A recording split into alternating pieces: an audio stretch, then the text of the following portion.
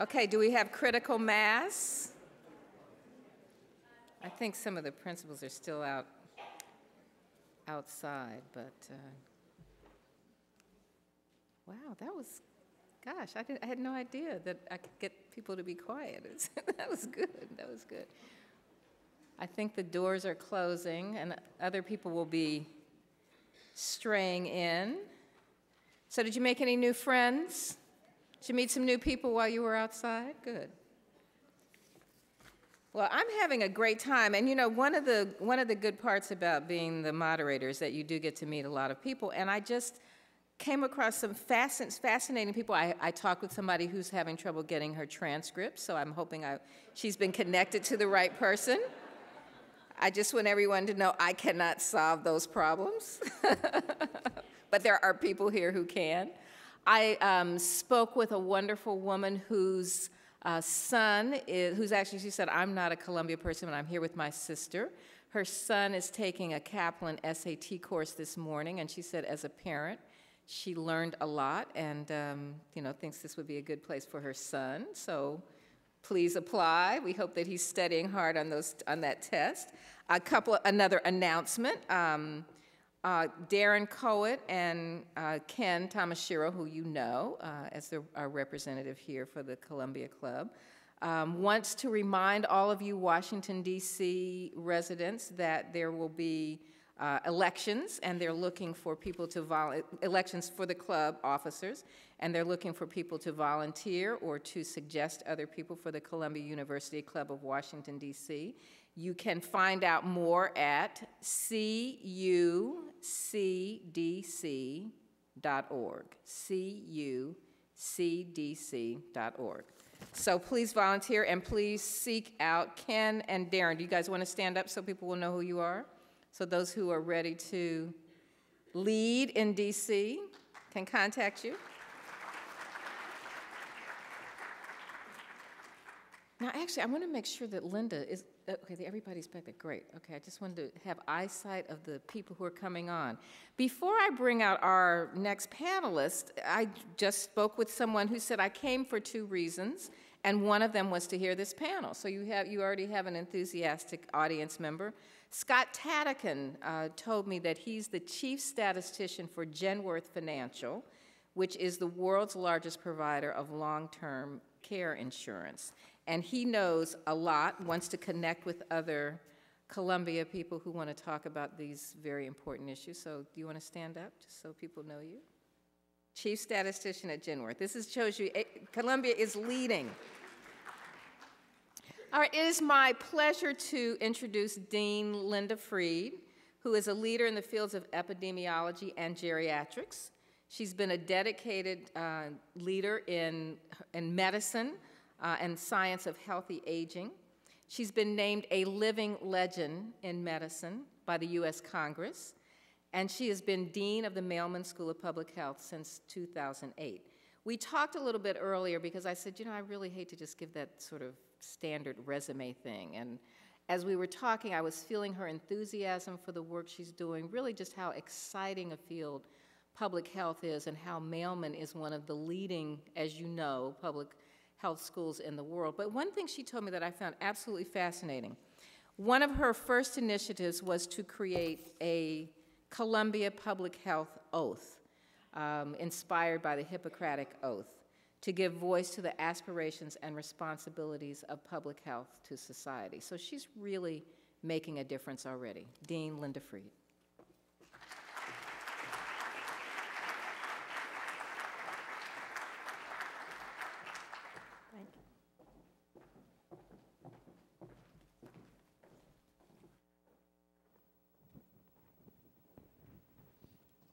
Thank you, A'Lelia, for that very gracious introduction, and, and thank you to all of you for being here.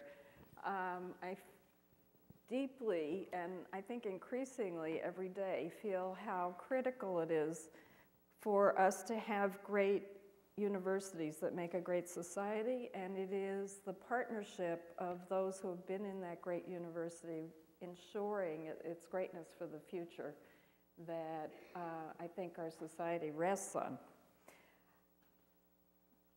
I'm very excited, given the conversation that we just had in the, in the prior panel, to try and think about one of the many important intersections between science, a discussion of the morning, and leadership, a discussion of the morning. And I think one of those very important intersections is rests in public health as the science, uh, uh, scientific basis of much of the leadership needed, I think, in, in coming years.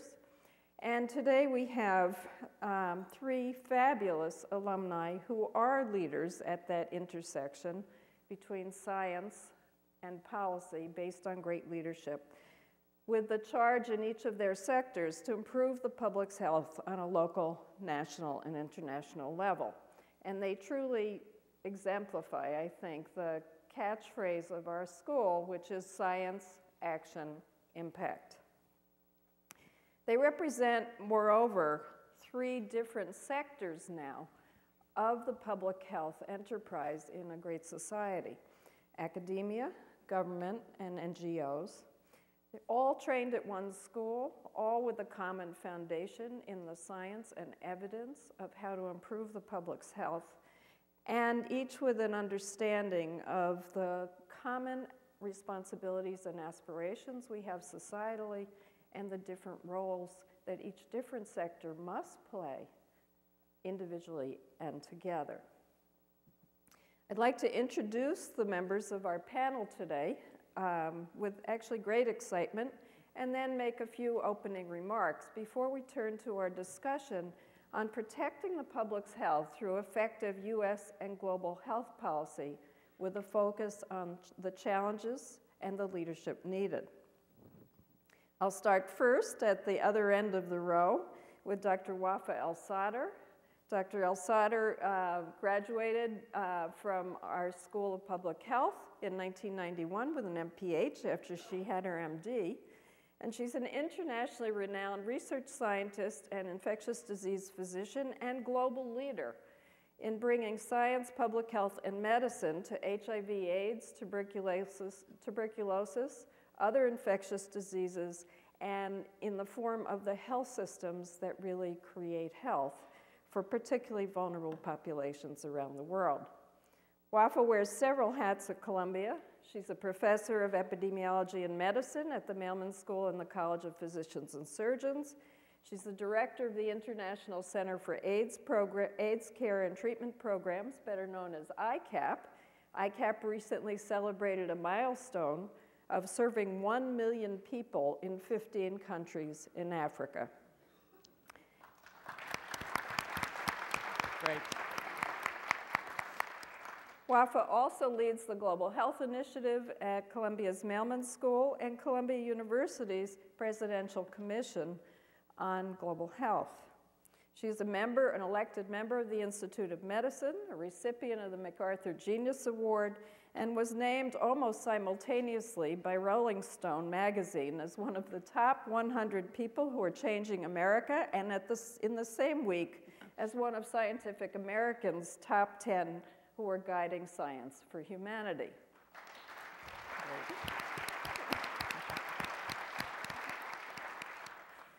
Next to Dr. El-Sadr is Dr. Cheryl Heaton.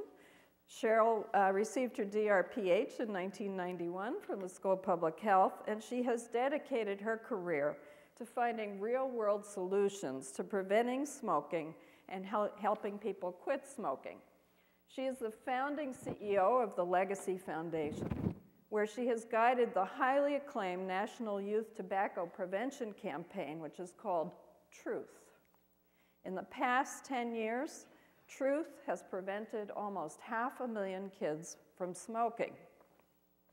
Cheryl was, uh, for a number of years, the chair of the Department of Sociomedical Sciences in our School of Public Health, but she has had many roles as author, researcher, professor, administrator with more than 25 years of experience across all the dimensions of the public health enterprise. She's a frequent public speaker, appears frequently on Good Morning America, The Today Show, and recently on MSNBC's Cigarette Wars. Cheryl, welcome. Thank you.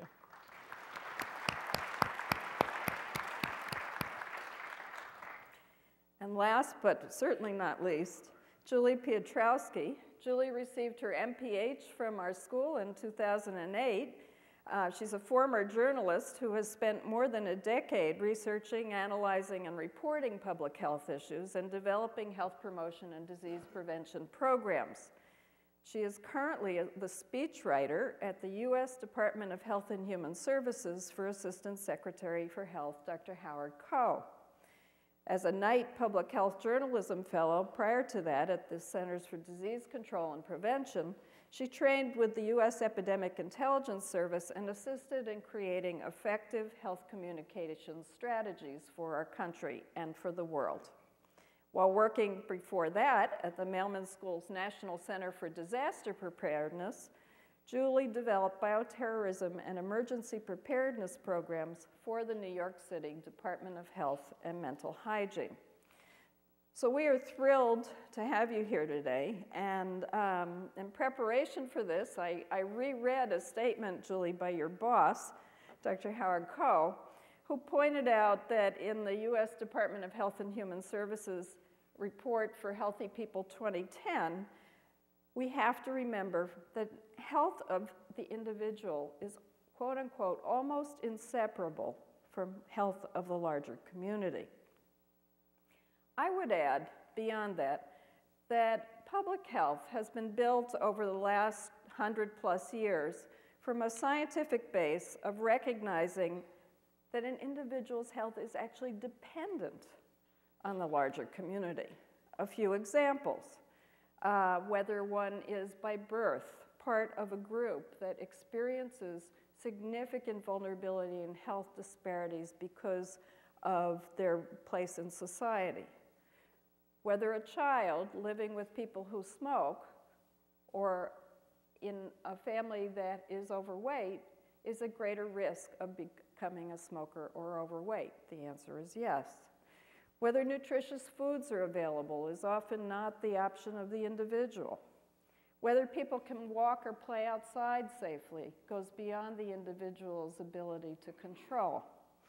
Air pollution, or how well we prepare for earthquakes, tsunamis, or other exposures, are all issues of how the community, the community's preparation, the community's anticipation, the community's response in knowledgeable ways across all sectors protects our collective health.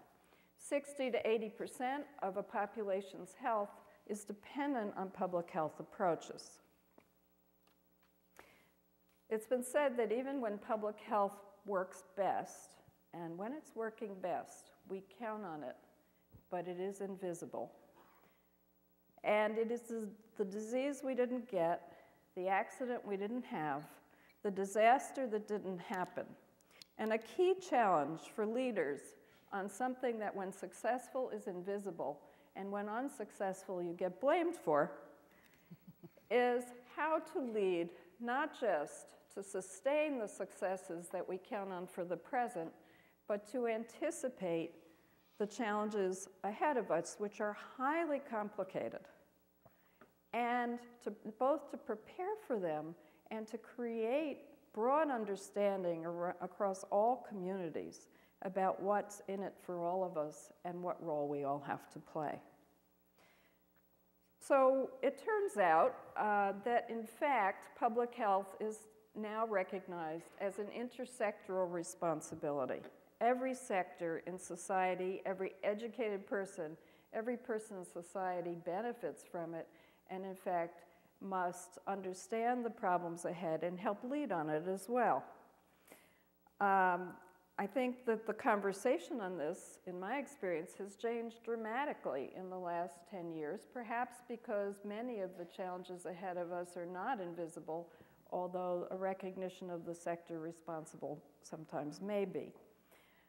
Um, Clearly, discussions at the World Economic Forum, which uh, recently, which I had the privilege of um, joining President Bollinger for, exemplified that corporations, government, civil society all recognize, uh, as, as spoken by Secretary of State Hillary Clinton, that public health solutions are a key part of all of our well-being from uh, national security to actually uh, the diseases we do or do not wake up with in the morning.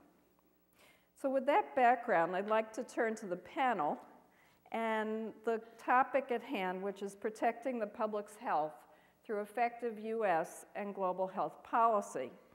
And um, not coincidentally, as I said, we have both three fabulous alumni who are leaders in their own right, but three alumni who represent different sectors, uh, not all the sectors, but three sectors of um, the, what enables us to protect the public's health.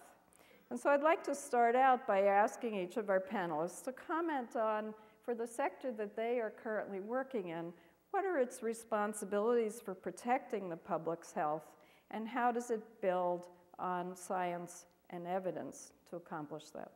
And I'll start with Julie Piotrowski. Thank you. Uh, it's an honor to be here this morning in conversation with such a diverse group of leaders and future leaders and to learn from the group. Um, while most of you are not public health professionals, as Dean Fried said, the work of public health affects you every day. And after a few years of covering health as a journalist, I realized that to do my best work, I needed to really develop an understanding of, of public health, and that led me to the Mailman School of Public Health, where I am very grateful for the outstanding education that I received working with so many leaders across um, many different sectors to ultimately um, promote and protect health and assure that all people can reach their highest attainable standard of health. Um, at Mailman, our statement of values reads, and this is applicable to the field of public health in general, and I quote, we are committed to principles of social justice and to the promotion of health as a fundamental right of every human being. We aspire to alleviate human suffering and improve the health of all populations, especially the most vulnerable, through research, service, communication, and informed advocacy. So, this statement or concept that health is a fundamental right is really key. Um, in this nation, we have differences in terms of wealth. Uh, we have people with smaller incomes, and we have millionaires and multimillionaires. We have differences in education from those with a high school uh, level education to those with multiple advanced degrees. We have differences in employment.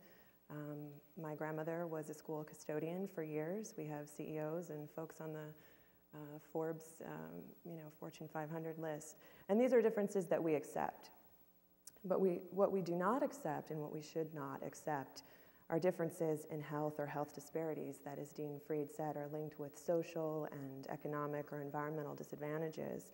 And so while medical advances and new technologies have provided us with the potential for longer and healthier lives and better quality of life, we have these disparities that exist in, in the US and continue to affect um, multiple groups of people. So differences based on gender, uh, religion, um, sexual orientation, race and eth- ethnic group, uh, geographic location, or some other characteristic that's historically uh, linked with discrimination or exclusion. So, where we live and learn and work and play and, and pray, even in some cases, uh, affects our health. And it is very true that the health of the individual is inseparable from the health of the community. And so, both government and all of us, as um, a component of good citizenship, have a responsibility for building healthy societies um, and creating the conditions in which people can be healthy.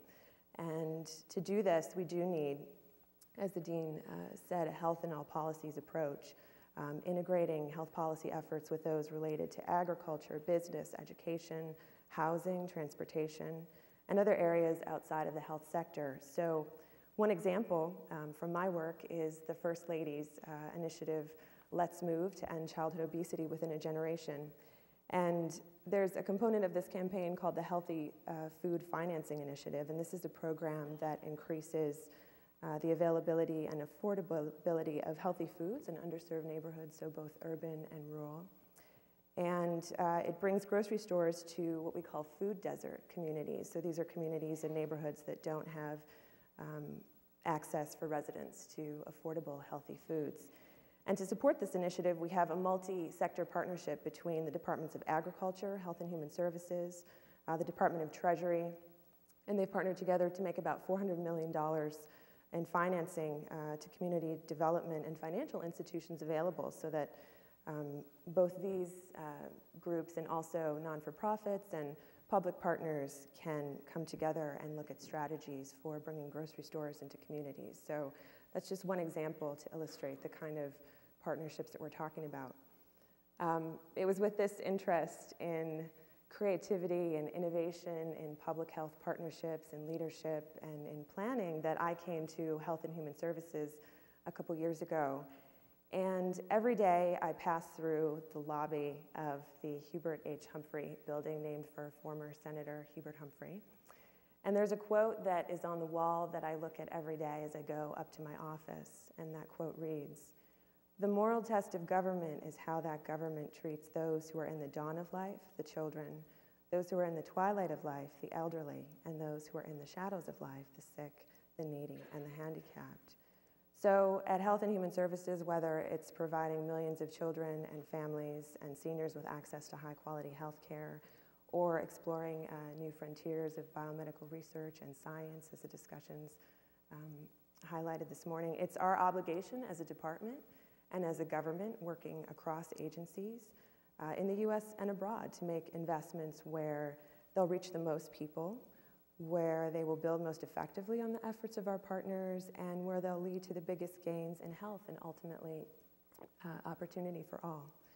So, at the heart of all of our work, what we really strive to do is to create better systems of prevention to um, prevent disease from occurring instead of treating disease too late, despite the fact that we have an incredible healthcare system in this country, the best in the world, arguably, with doctors and nurses and other professionals who um, do incredible, incredible work. And I think for me, it's been a privilege to work for an administration that understands the power of prevention at all levels in society, at the individual level, at the business level, um, and in communities as well as at the national level. So um, much about what we've heard on the healthcare law so far has been focused on insurance reform, but this is a law that really brings prevention to the forefront of our national conversation, and I'm happy to detail some of the prevention provisions later. But um, the most important thing is that while uh, it's not a panacea for eliminating all of the health disparities that we face, it's a great start, and we do need uh, the cooperation and creativity and innovation of everyone across sectors to help people truly reach their highest attainable standard of health. Thanks, Julie. The policies that you That was very eloquent and, and I think exemplifies many of the policies on prevention uh, that we, uh, that the government is implementing and that are deep, actually substantively, substantively based on public health science and prevention science coming out of schools of public health. Uh, Cheryl, I wonder if you could talk about how that same base of evidence and knowledge drives the actions of the Legacy Foundation and similar uh, nonprofit foundations. Well, thank you. I'm delighted to be here today among the alums in the Washington area and others. My, my, two favorite alums of all are in the audience my husband from the School of Public Health, and my daughter from Columbia College. Shout out to you. um, but let, let me just uh, start by following on with the, with the basic overarching framework, and that is a framework of social justice and the fact that we just don't have it. We don't have it here in the United States of America, and we most certainly do not have it around the world. And in terms of the World Health definition of health, an absence of disease, but also well being, social well being, um, we are probably, in many respects, moving in the wrong direction, and in a handful, moving in the right direction in, in that overarching picture, the NGO community, as it's called globally, and the nonprofit community, uh, of which I am a part, as it is known uh, here in the US, has an extraordinarily important role to play. Um, as partners uh, with government, as partners with philanthropy, as partners with basically every individual that wants to address um, the key killers uh, uh, in, our, in our society, uh, which differ, of course, in the in developed world and other parts of the world. Um, First and foremost, the nonprofit sector needs to be a catalyst.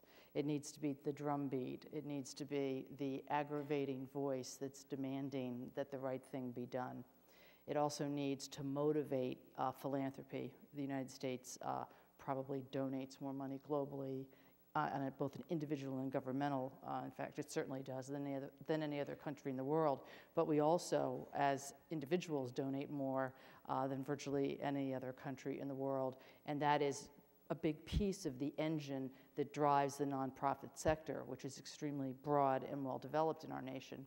So let me just turn to tobacco as an example, simply because it is incredibly unique, and I want to point out a few of the uniquenesses about it, um, because if it is left unchecked, we are looking at a really extraordinary calamity uh, that will be facing us. Let's start with the fact that tobacco is a global health crisis. It is 100% preventable tobacco related death by simply not using the product. By the close of the century, the World Health Organization has estimated that 1 billion people will die as a result of tobacco. Let me repeat that 1 billion people. Presently, 5 million people worldwide die every year of tobacco. And in contrast to our experience in New York or Washington, that somehow the tobacco epidemic is getting under control, the sad global fact is that it's wildly out of control and the rate of smoking is rising around the world wherever there is a vulnerable population that the tobacco industry can get its clutches on. For example, just one statistic 60% of girls in Santiago, Chile smoke. While in our country, that number is, uh, is, is one third of that, and still that's a disaster. 45 million Americans still smoke. Only 5% of the world's population is covered by clean indoor air laws. And in fact, right now, soon, there'll be a book coming out of Columbia Press that Legacy underwrote, uh, um, I think initially made the grant probably in 2002. And I love the title of the book. It's called After Tobacco. I go to bed at night, put my head on my pillow, and try to imagine after tobacco. For me, it's particularly hard because Legacy uh, is a foundation that was created out of threatened litigation by 46 states' attorneys general against the tobacco industry and the tobacco industry uh, settled in lieu of pursuing 46 separate litigations. And a lot of things changed as a result of that agreement. And that agreement is a model that can be used globally uh, by law enforcement officials to institute and generate significant change and significant uh, public health protections uh, for individuals. What it did is create the Legacy Foundation, among other things that it did and Legacy was then able to be a counterweight to the $13 billion a year, that's 13 billion, that the tobacco industry spends marketing its products in the United States alone, which is an enormous amount of money. To put it in some, to, in some perspective, they spend in a day what Legacy spends in a year to combat them. Uh, they attempted to shut us down. We were in litigation for five and a half years. Uh, so an industry that creates a product that when used as directed kills 50% of its users uh, and makes the enormous profits it makes here in this world and exports now throughout the world is one of the principal ambassadors for our country around the world. Is that a situation that we really uh, want to prevail? Well, another model of how you can bring science and public health together has miraculously happened in this country. We now have Food and Drug uh, FDA authority over tobacco. And there are many exciting things happening on that front. Probably the most exciting is the release of a report just a week ago that found that leaving menthol in cigarettes, all other flavorings were removed in the bill that went through Congress, but leaving menthol in cigarettes will entice more young people to smoke and lead to far fewer people quitting. Um, this, this report is being fought, you know, uh, vociferously by the tobacco industry, but it's a classic example where the FDA has empowered a science panel to bring to them the facts. And it's probably for those who have any interest in the subject worth going to the FDA website to see the rebuttal that the tobacco industry put together. Um, but they are vigorously fighting that. On a global scale, uh, there is something called the framework, uh, the, the WHO Framework Convention on Tobacco Control, which is a series of about 16 key recommendations that every country should implement if there is any hope to turn the tide on this tsunami of a billion lives that we will lose uh, throughout this coming century. Um, virtually every country in the world has ratified the treaty. The treaty has been a bit of a problem for the US and for Germany because it, it initially encouraged the cessation of commercial speech rights with respect to tobacco. I personally favor severing those rights. To me, it's no different than saying you can't jump up and say fire in the audience if there is no fire in the room. The fact of the matter is that we protect the right of the tobacco industry to promote its product, and through the promotion of its product, it manages to addict millions of people, almost always uh, under the age of 18, at a time when their brains are not developed sufficiently to understand the decision they're making, and by the time uh, they understand it, they're addicted. So we have a model in the framework, uh, the WHO Framework Convention for Tobacco Control, that could be applied to many, many other problems. And the sort of the science, public health call to action for all of us, and for NGOs and nonprofits in particular, um, is to embrace the Millennium World Health Organization goals for our world. We are talking about obesity in the, in the United States of America. One in four children are underweight around the world. So we have a, a, dichotomy that's, you sort of wish you could take the food from one place and put it over to the other place. But that's obviously an oversimplification. The millennium, the millennium goals, the majority of those goals, which are the goals for the health and social welfare of the world, are in fact health related. And they cannot be achieved without the proactive engagement of the nonprofit sector, the government sectors within countries, um, intergovernmental agencies, individuals, and most especially the social responsibility of the corporate community. And that is one of the reasons why I will just close by returning to the tobacco industry, because there, if there ever was an example of an industry that simply should not exist, that is it. You take that and you go through the continuum of the human health problems that other industries are capable of causing and we need to understand that on the one hand, we are partners, but on the other hand, we must be regulators as well so that we can control um, profits being put ahead of human health, which happen in every country uh, on the planet. And, and that is a very important thing for us all to collectively address. So thank you for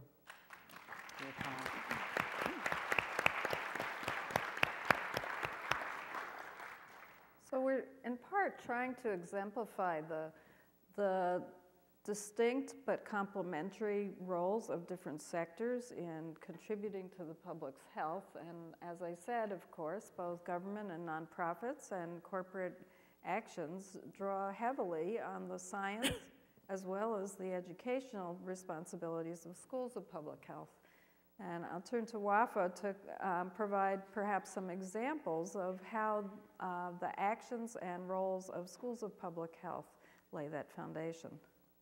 Uh, thank you very much, uh, Linda. And I'm also very thrilled to be here and to meet uh, graduates of the School of Mailman, as well as other alumni, and to be, especially to be on this panel with colleagues.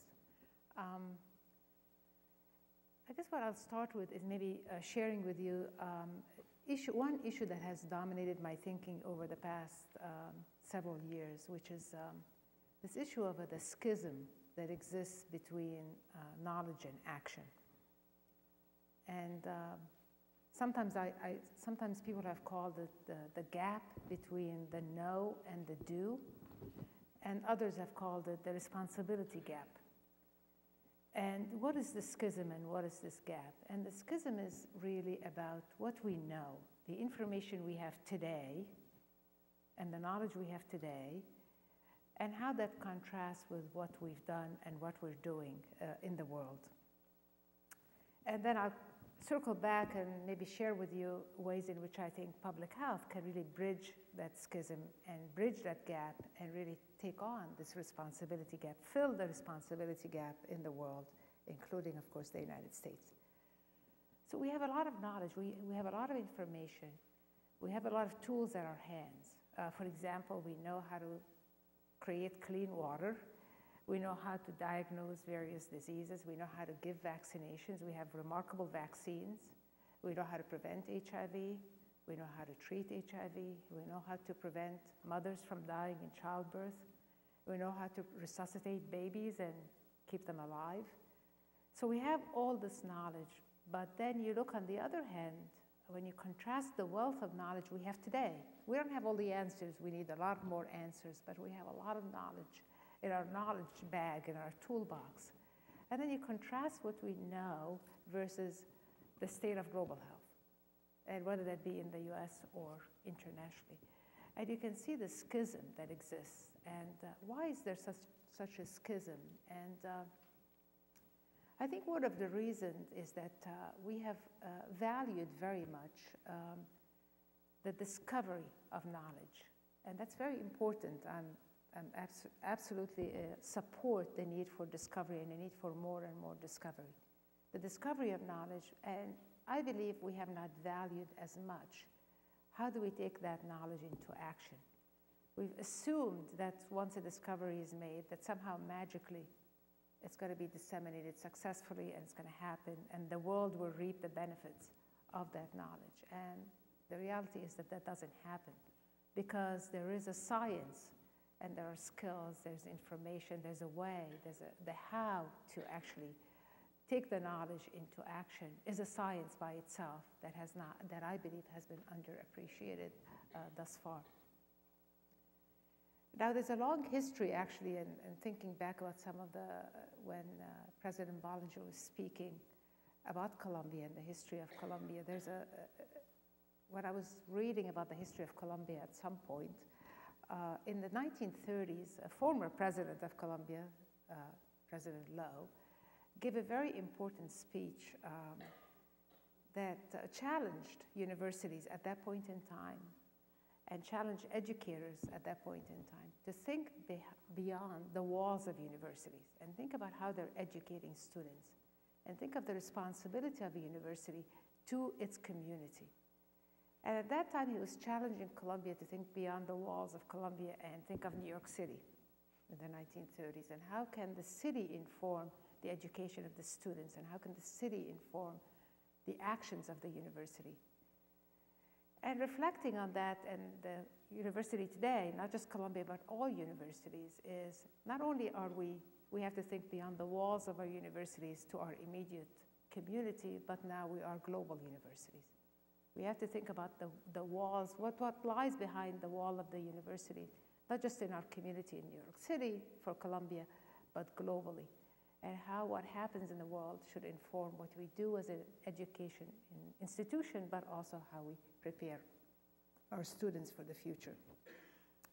So going back to that schism and that responsibility gap that I mentioned, I think there are ways in which, and I believe quite strongly that public health has a unique role to play, a unique role in the discovery of new knowledge, but a very unique role in bridging that schism, in actually bringing knowledge to action.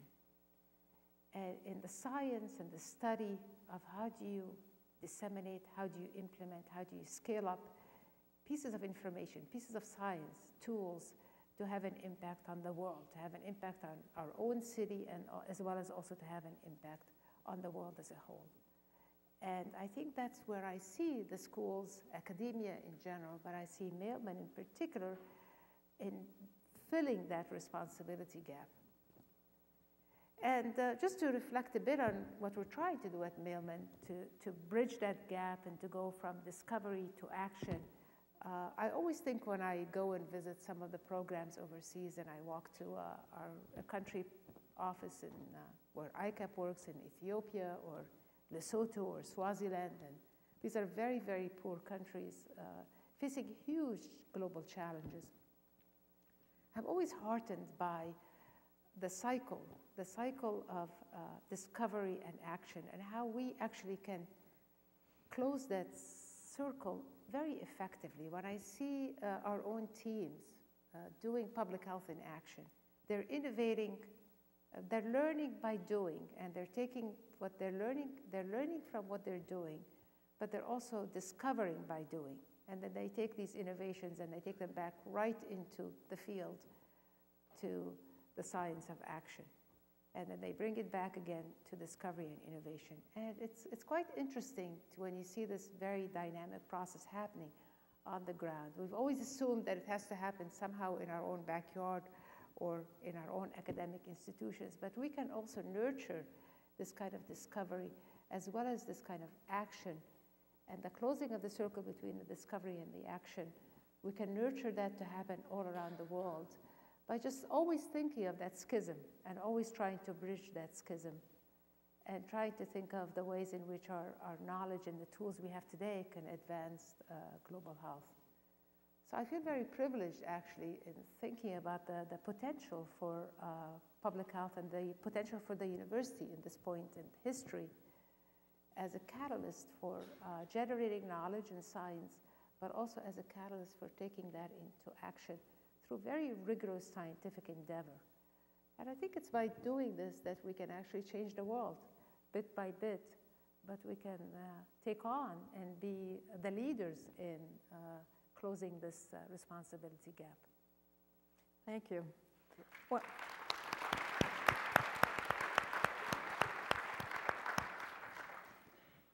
each of you are, are, confronted in the spheres you're in with, uh, responsibi- with both responsibility and knowledge of a responsibility gap uh, that you have to close at, at different levels uh, in terms of individuals, where you're seeking to do prevention and provide better care, uh, in communities, for countries, uh, the frame that Julie was talking in, and globally.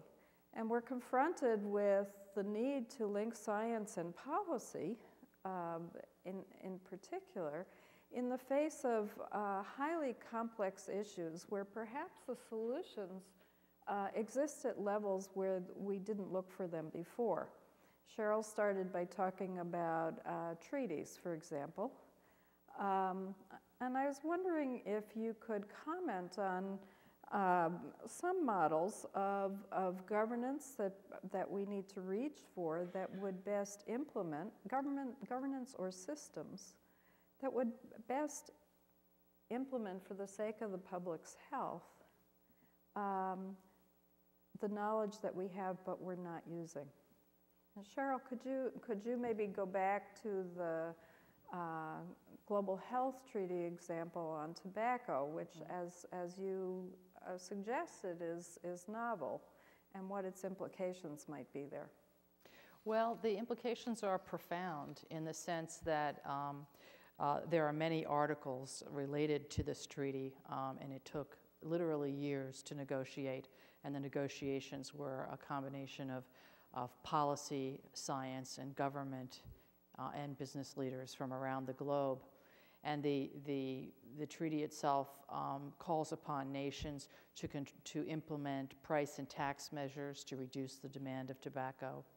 It calls upon them to um, protect individuals from exposure to secondhand smoke, which kills 600, uh, uh, 600,000 people worldwide each year, uh, to regulate the contents of tobacco products, uh, which I was alluding to earlier in the case of menthol, which will be a battle royal uh, in this country, uh, to change the packaging. Um, the, you may find it interesting that tobacco, a pack of cigarettes in Taiwan, um, 50% of the pack is covered with a warning label and has been for years.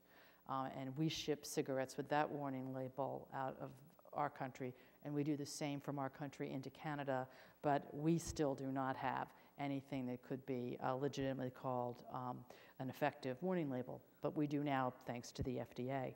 Um, it also regulates, uh, it also calls upon nations to regulate tobacco advertising, most especially um, advertising that reaches children and product placement in television and film, which has been one of the most controversial uh, components of it from the tobacco industry's perspective, because for, for years they've spent um, millions and millions and millions of dollars to get people to smoke in movies. Um, Christopher Reeve smoked Marlboros in Superman um, in exchange for $1.5 million, as just one example. Um, and also, uh, the, the, the, uh, the articles call upon uh, the uh, countries to treat uh, addiction. And one of the wonderful elements in the new health reform bill in our nation is that we will now be calling upon all health plans uh, to treat addiction, which has not been the case. Uh, we still need to do a little more work in terms of Medicaid, the, the program for the poor. So, this type of a model uh, has put into um, action in virtually every country in the world activities related to this, the first health treaty um, in the history of the world. We've had many, many treaties, but we've not had one that was focused on health. So it's a very viable model um, and one that I think should be replicated, as do I believe the model of the MSA can and ought to be replicated in nations where um, consumer protection falls within a legal framework that allows the equivalent of our attorneys general in other countries to intercede on behalf of the public and protect them uh, through, through laws and through threat of litigation um, and the like. So we have the tools in our toolkit. Um, we need to use them uh, aggressively. And I think at the end of the day, um, there is no, as Wafaa just pointed out so eloquently, there, there are very few health problems that exist in the world today that we don't have the solution for. Uh, in science, in, in medicine, it's called, you know, from the bench to the bedside. Uh, we are not doing the bench to the bedside on the public health uh, uh framework uh, as well as we might, uh, simply because we are, we are unable to mobilize the forces, and a lot of it, I think, has to do with, with political stability in countries, um, with the legitimacy of the leadership of the countries, and a lot of it, sadly, has to do with um, our own mobilization of infrastructure. Linda, you said, what was the one thing we could do? You know, we have health reform, but uh, the overwhelming majority of physicians and the vast majority of public health professionals in the US and worldwide believe that the quickest way to improve the health of our country is a single payer system. Everyone has a ticket to the ball game, so to speak, and we are not wasting huge amounts of money um, in diversions. We didn't get that. We got something halfway there, and I'll take half a loaf before I'll take no loaf any day of the week. Um, and for a variety of political reasons, uh, what a lot of people knew was the best thing to do simply could not happen. What we have is good. My hope is that we can get good to be good to great. Thank you.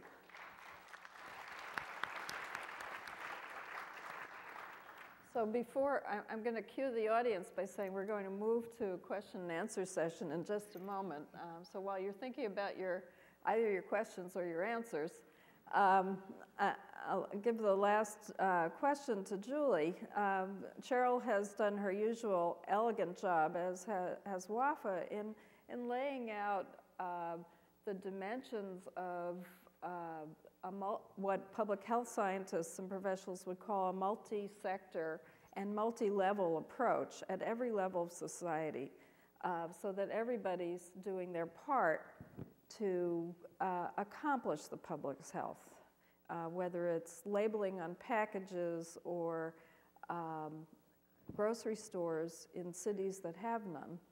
Uh, those are actually public health interventions. Can you um, tell us, Julie, why, what difference investing in prevention makes in terms of population's health? Sure. Well, I'm glad that uh, Cheryl used the word mobilization. That is part of the new mission statement of our office, the Office of the Assistant Secretary for Health, formerly the Office of Public Health and Science, which just had a name change. Um, and our mission statement is mobilizing leadership in science and prevention for a healthier nation. So, obviously, all of us at some point in our lives will be affected by a health issue, or our families will, or our friends. And, you know, health is a gift, and we don't want to be treating disease after the fact if we don't have to, um, despite our incredible health system and the people who work in it to save lives every day. Um, we want to be able to bring down costs. We want to be able to work both at the individual level and at the community level to uh, prevent disease, promote health, and ensure that people can enjoy their life. I mean, health is, you know, a beautiful gift. So um, why, why suffer if we don't need to? Um, So the Affordable Care Act is just one component of prevention that is really focused on expanding access to care, bringing down costs, and also improving uh, healthcare quality. And so when we think about prevention, we also think about uh, preventing healthcare associated infections in hospitals. We think about um, prevention as far as um, medical errors. And there are so many components of this law that emphasize prevention throughout the healthcare system uh, to bring down costs, but ultimately to improve quality for patients and to improve quality of life and to ensure that people get the care that they need when they need it. And uh, as I mentioned earlier, much of the conversation at the national level about this law has been focused on the respective insurance provisions that will um, afford people more access. But what we really haven't talked about as a nation is the um, expansive, unprecedented investment in prevention at every level. And so that means, for example, at the individual level, um, you now will be able to go to your doctor and, uh, without paying a co-payment, receive uh, clinical preventive services. So um, assistance with smoking cessation, assistance with uh, counseling for nutrition, and this applies to children as well as adults. Um, if you are an older person in Medicare, you will be able to receive uh, a health and wellness visit. You'll work with your doctor to put together uh, a, a, wellness plan. Um, and this, of course, is going to cost um, time, you know, for physicians to learn how to um, you know, devote more time to these kinds of conversations with patients, but the key is that they will be reimbursed. And so we're changing through healthcare reform our um, payment models so that we're um, giving incentives for physicians to implement prevention in the clinical visit. At the uh, business level, we have all sorts of provisions in this law to ensure the expansion of uh, employee wellness programs. We have uh, new federal initiatives that will be looking at um, providing businesses with uh, assistance for their workplace wellness programs, technical assistance. At the community level, we have community transformation grants, um, millions and millions of dollars that are invested in tobacco cessation, in obesity prevention, and ensuring that the models that we're putting into place are um, effective, that they're evidence based, that they've been proven to be effective, and then that we're scaling them up in a way that is meaningful for those communities, but also ensuring that we give communities some flexibility to, um, based on their own unique challenges and populations, sort of fine tune the keys of those, of those programs for change and use them to ultimately improve health. Um, two really big components of the healthcare law that are very exciting as far as prevention are at the national level. We have a new public health fund uh, that over the next 10 years has uh, appropriations of almost $15 billion in mandatory spending for public health programs. This is a huge uh, success for the, for the public health um, folks. But you know, ultimately, we need um, leadership and mobilization of leadership to support the replication of these programs. So to implement this funding in a way that is really meaningful um, and we've already released about 500 million in fiscal 2010, and we'll release another 750 million soon in 2011. And the president's 2012 budget uh, includes just an unprecedented amount of funding for prevention as well. We also have a new uh, Council for Health Promotion and Disease Prevention. This is a national level sort of kitchen cabinet, as I like to say, of um, folks who are invested in uh, models that work, and we'll be releasing a, a, health promotion and disease prevention strategy for the nation. So this is a partnership between um, federal agencies and leaders and um, private sector leaders. And so again, just returning to the theme of taking what we know, applying it in a way that uh, has been proven effective, and allowing some flexibility for how we um, make these programs work at the community level. And for those of you who are interested in what our health goals, goals are as a nation, you can go to healthypeople.gov, which is the federal government's sort of roadmap for, for change. And we have 42 different topic areas, um, everything from LGBT health, which is a new topic area this year, to uh, tobacco cessation, healthcare access and quality, maternal and child health. Um, we have our baseline of where we are at now with the percentage of the population that is affected by the particular health issue, and then our target for 2020. We um, release Healthy People goals every 10 years. So this is just a tremendously rewarding time to be working in public health, not just as a public health leader in the sector of public health, but for all of us. We know what the goals are. Um, Healthy People also has a section for the interventions that work. So I encourage any of you, for the topic of your interest, to go onto that site and look and see um, where we are, where we're headed, and to think about how you can make an impact in your organization to get to a place where we have a healthier nation. Thank you, Julie. That was great. So, um, these are three of our fabulous alums, but you're, the, you're also our fabulous alums, and we'd like to hear from you, hopefully to having teed up uh, the, the beginnings of a broader conversation on all sector uh, thoughts on fostering the public's health. I'll start over there, yes. Hi, I'm Laura Kelly. I'm a student at the School of Public Health. Uh, Dr. El-Sadr, I was wondering if you could talk about what do, what do you think are some ways to improve the implementation science issue in public health you discussed? Thank you. Uh, I think it's uh, a very important question, and maybe we'll define what is the implementation science. I think the, uh, I mean, traditionally, when people have thought of research, they've thought of basic research or clinical research, and they haven't really thought about what's called implementation research or implementation science. And implementation science gets at exactly that gap that I was talking about, which is the how of taking knowledge, the how you assess, how do you assess various models of implementation of programs and really evaluate them appropriately and, and, and learn from them in order to be able to scale them up. There are many different things that should be done. One is clearly to um, entice young people, students, faculty, to be interested in this kind of endeavor. Uh, as I mentioned earlier, this is a new scholarly endeavor that's kind of a little bit alien to the usual uh, generation of knowledge framework. It is generation of knowledge, but it's rather alien to the traditional generation of knowledge framework. So I think getting faculty, getting researchers, getting students to be very, uh, to be attuned to what this means and to be excited at doing the kind of research that would address some of these very important key issues in terms of global health.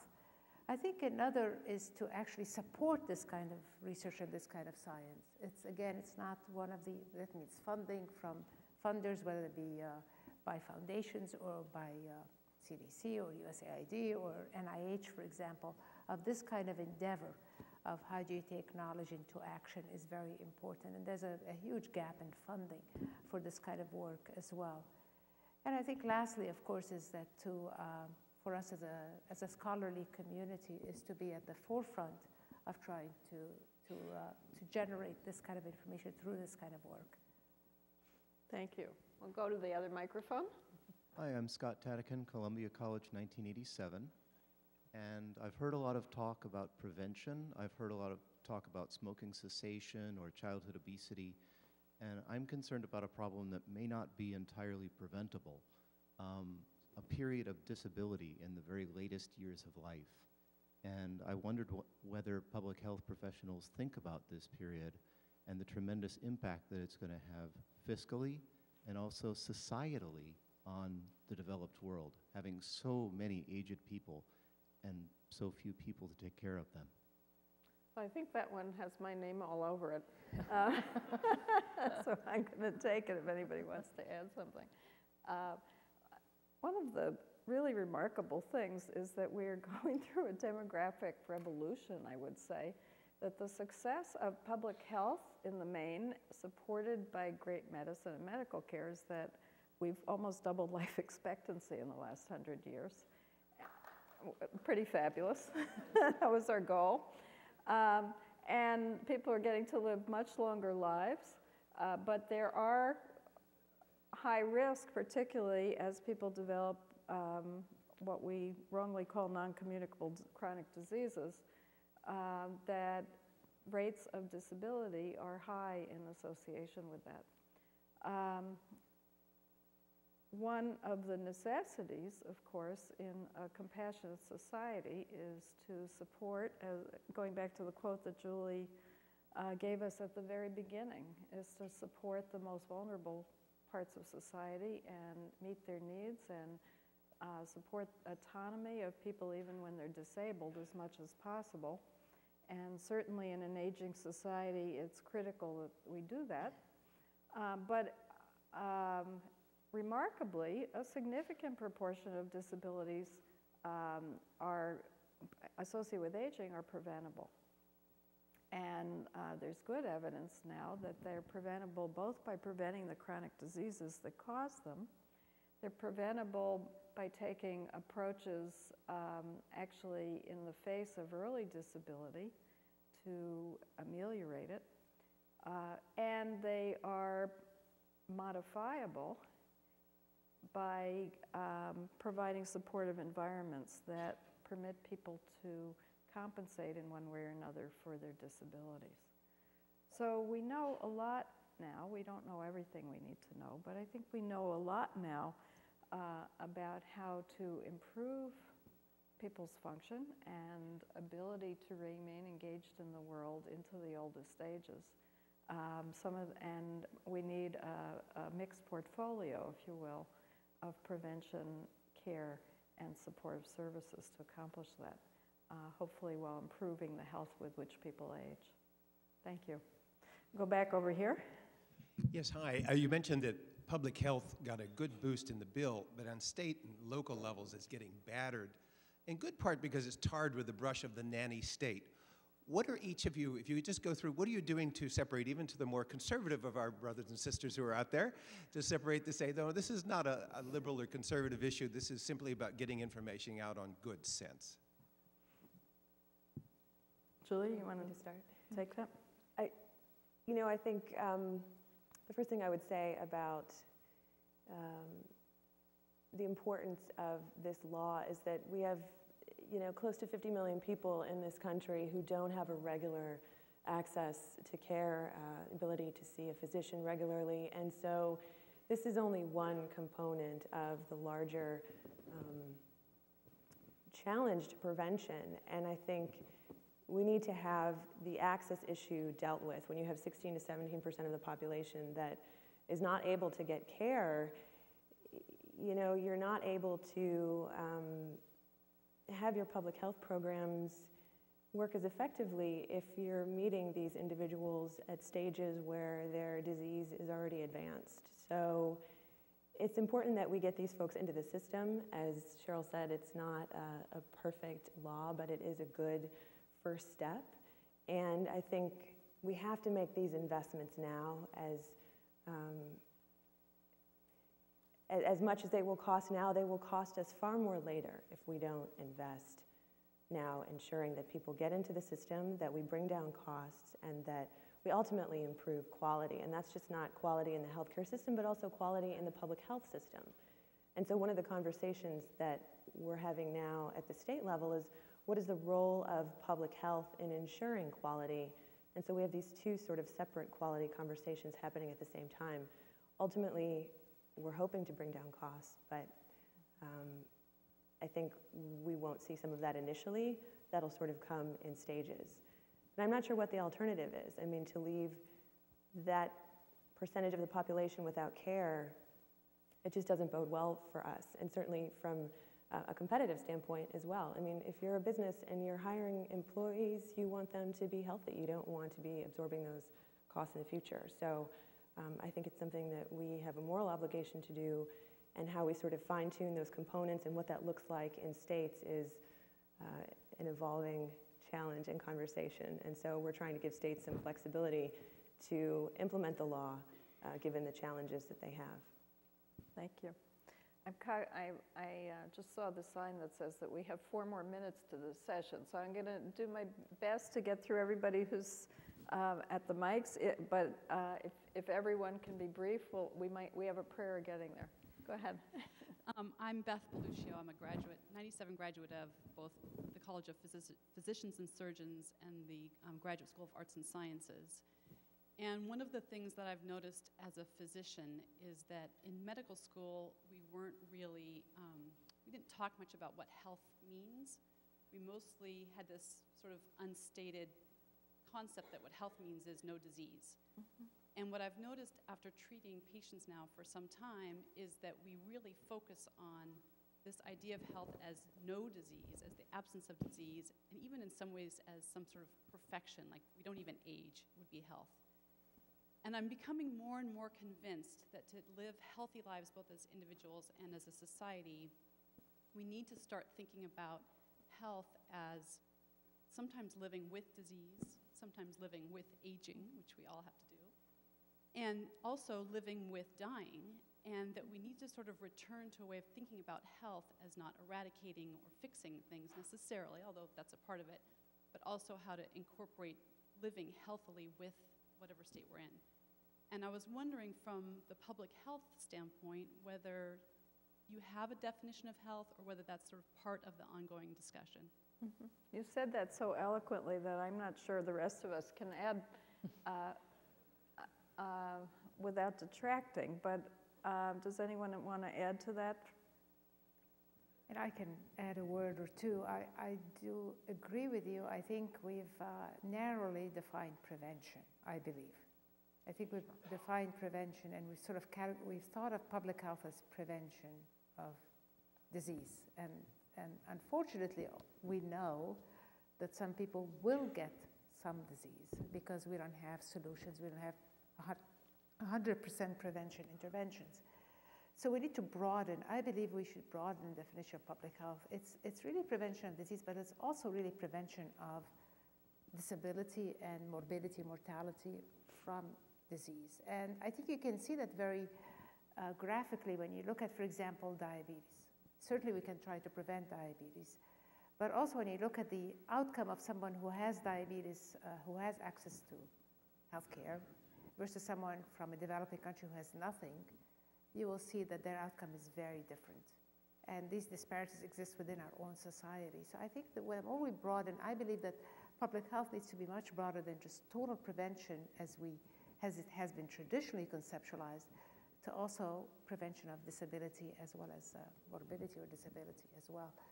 And I, that's why I think really uh, this is a great moment for public health because it's, it has such a broad platform, uh, working at, uh, at individual level, but working at a population level, both hand in hand. Thank you. Dr. Herbert. Um, I'm John Herbert, uh, P&S uh, class of whenever in Columbia College. Um, my question is Do you think the American people are willing to pay for the application of the knowledge that we've gained to prevent disease and to cure disease? I mean, we're already at, uh, last time I looked, greater than 15% of our GDP. We're spending over $2 trillion in healthcare. And uh, even with the new bill, which is a great step in the right direction, it's going to cost us more money. Do you think society is willing to make the sacrifices necessary to pay to make us healthy? I mean, clearly, we won't change our diets, we won't change our exercise. Everybody here has probably been to McDonald's, uh, at least nobody's smoking in this room. But are we willing to make the rest of the sacrifices? So I, am going to take that one and, and say that um, there are two thoughts. First of all, the Trust for America's Health reported last year uh, uh, on analyses that have been much needed that show that there is a six-fold return on investment for prevention uh, of the vast uh, breadth that we've been talking about. And the time frame on that is not 50 years, it's three years to six years. Um, and ongoing investment yields ongoing return on investment. So we're not talking about somewhere in the 22nd century that we would see the benefits. Um, I think the ultimate answer to your question depends on the people in this room. And it depends on leadership and the ability to help people uh, set their sights on who we want to be. Thank you. Yes. I, am Robert Wilbur. I've been active in the United Nations Association. In looking at um, progress or lack of it toward the Millennium Development Goals, I get the unfortunate conclusion that efforts, and we're going back to the gap between knowledge and implementation, that progress is being overwhelmed, at least in Africa, by population growth. And so my question would be, to what extent is population growth, which you haven't mentioned uh, today, a, a factor in your thinking in academia about global health issues? There's so many things we haven't mentioned today, but I'm going to turn to Wafaa to see if you want to respond. Well, I, I, um, I think I agree with you that in terms of the Millennium Development Goals, there, it's probably clear that many of the most severely affected countries are not going to reach their goals. It doesn't mean there hasn't been progress, and that's kind of unfortunate is that there's been tremendous progress that's been achieved already, and especially when you go region by region and country, specific country by country. So I think we should really applaud the progress because I think it ends up being a bit demoralizing for countries that have really tried very hard. There's been progress in maternal mortality, there's been progress in under five mortality, substantial progress. There's been progress obviously in HIV, even in tuberculosis. So I think we're seeing these curves Malaria. improving uh, over time and, uh, and actually going back to an improvement in life expectancy in some of the most severely affected countries. Nonetheless, I think there are many reasons why countries cannot reach, some countries will not reach one or the other of the Millennium Development Goals. Could be the resources, could be war, civil strife, it could be governance within the country itself. And population growth is one aspect of, of, of that whole effort. But there have also been remarkable advances as well in terms of population growth. There are many, many countries where we're seeing the fertility rates go down. Uh, we know that with educating women, that's a very important aspect of decreasing fertility is by women being educated. There remains a huge gap in terms of access to uh, contraceptive methods in some countries. So I, I think it's one component. It, it it is one of the issues that many countries are tackling. And as clearly, in some of the countries where we work, uh, family planning is at the top of, of the agenda, uh, of, uh, in the context of all the many, many other health threats and challenges that some of these countries are facing. Thank you. Um, I have to ask the timekeepers, can we, do we have time to uh, take the remaining questions? No? Um, well, I, I this one's out of my control. Um, but we are happy to talk to any of you afterwards who, who have questions and uh, with such an excited uh, group to continue the discussion. Thank you all so much to our panelists. Thank you.